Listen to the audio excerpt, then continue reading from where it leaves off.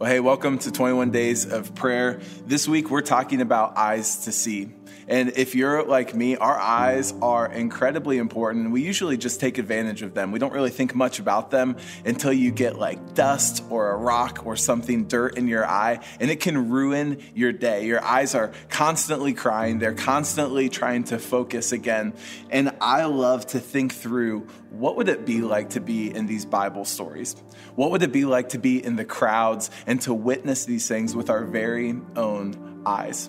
And so, as you get into scripture today, I want you to put yourself in this scenario. I want you to think about what you would do if you were there, who you would be beside, what would be going through your mind, all of those things. Because today we're going to be talking about the woman that was caught in adultery.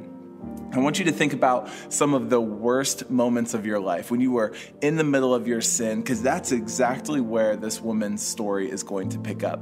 Jesus is preaching to this group of religious leaders and people from the city, and the Pharisees come in and they throw this lady into the middle of his message. And they say, She was just caught in adultery. What should we do, Jesus? And Jesus is in this really bad spot because it's a lose lose situation for him. And the Pharisees thought this is finally the time that we're going to get that Jesus is going to say the wrong thing.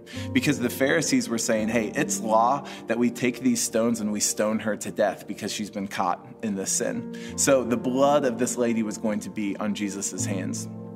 Or they thought that Jesus was going to say, no, no, no, don't stone her. And that would make sure that he is not following the law. And so, either way, it was going to be a very difficult situation. And as you read, you're going to see how Jesus responds to this hostile crowd. And if you can imagine, all of these people are just looking around to find these stones because this woman was going to die right here in that moment.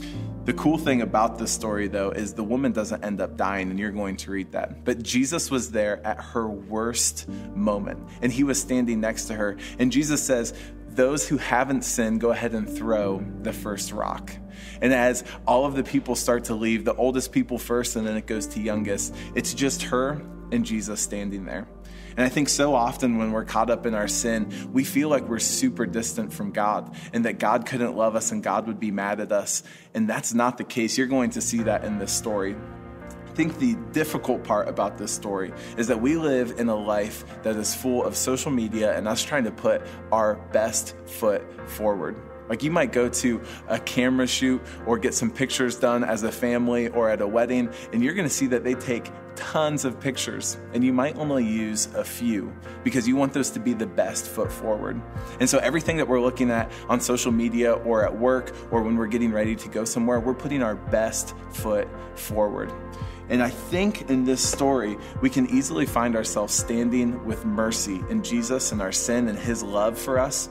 But we can also quickly go to the other side of the crew and the crowd.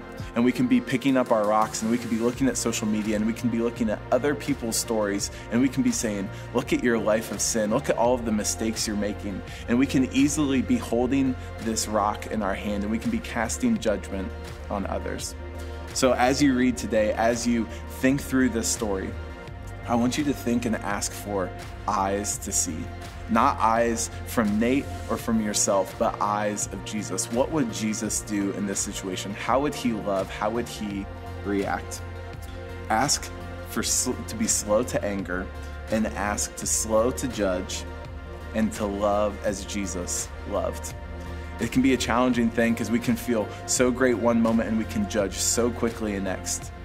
But Jesus came to love others in the worst part of their life. And so I'd ask you, are you standing next to Jesus and this woman caught in her sin? Or are you standing in the crowd with your stone?